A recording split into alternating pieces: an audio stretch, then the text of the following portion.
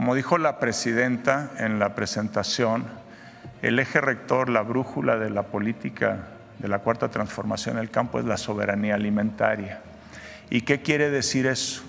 Quiere decir que el país tenga todas las condiciones necesarias para garantizar el derecho constitucional a la alimentación, no solo hoy, sino que en el futuro.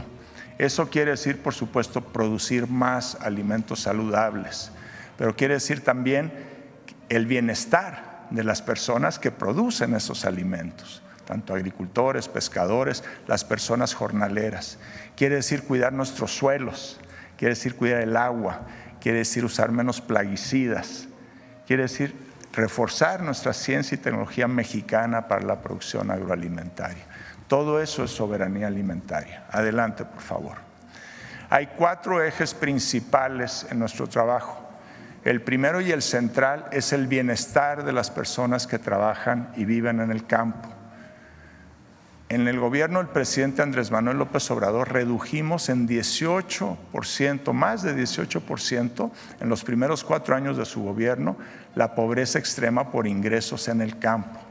Eso realmente no se vio en otros países de la región, pero todavía tenemos bastante que hacer para lograr la meta de bajar a menos de 2% de pobreza extrema en el país. Además, la, la, presidenta nos ha encargado mucho poner una especial atención y dedicación a las personas jornaleras.